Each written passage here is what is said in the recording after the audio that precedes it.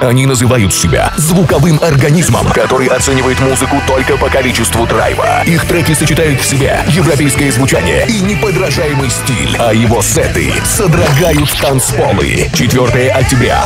Арена Райт. Группа Франки и Ди